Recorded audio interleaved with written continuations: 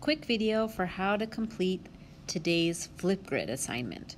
So you'll go into our folder for today and you'll see that you, for task two, there are a bunch of quotes for you to look at. All of these quotes have to do with names.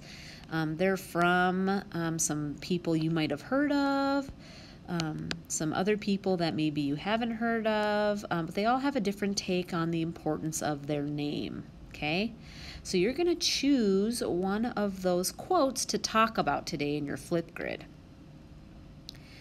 So you'll go, task three says to open Flipgrid to the name quotes assignment. So we're going to go to Flipgrid and you should already have it down here. If you don't, remember Black Cloud 5 will be your um, code and then your a version of your name that I emailed you will be your username.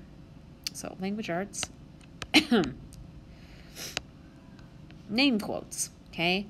So here it says, choose one of the following quotes about names. So I put a link there just back to the Schoology page if you don't remember your quote. Then answer the questions below about the quote you choose.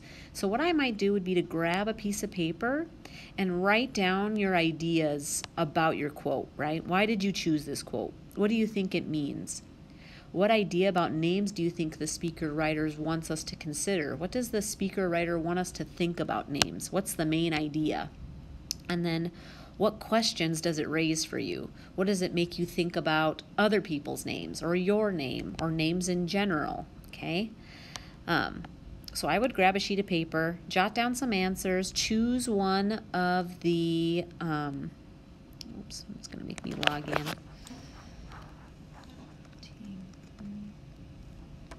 Well, anyway, it's just the one that's on Schoology. This one here. It's going to take you to this. Oops, other one. Oh my goodness. It'll take you to one of these quotes. So one of these quotes, you're going to answer those four questions on Flipgrid.